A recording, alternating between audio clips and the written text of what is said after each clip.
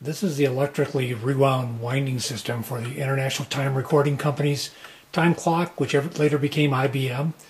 Uh, what you have is you have an electric motor up here on top that has a drive shaft there in the middle, that uh, kind of brown colored tube that comes down to a differential there.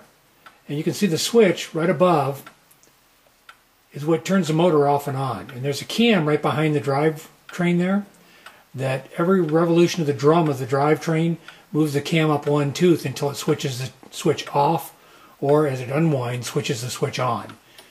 And then as it winds you can see there are two weights.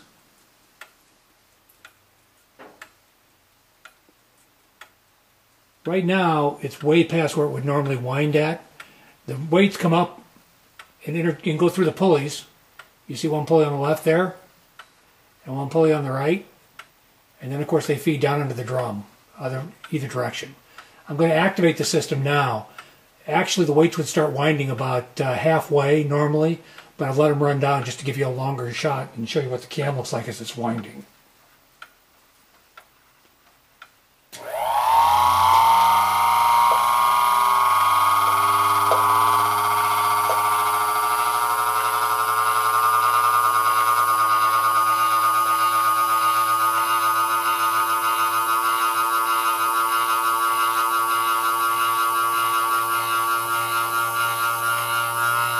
There's the cam moving.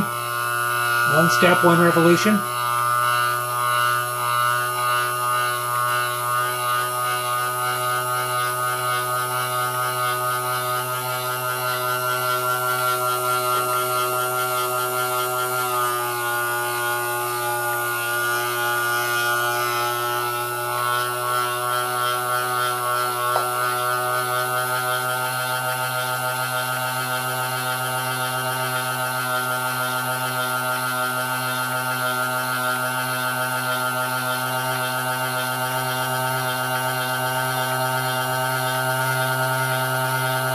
I'm going another notch. The weights are about halfway now.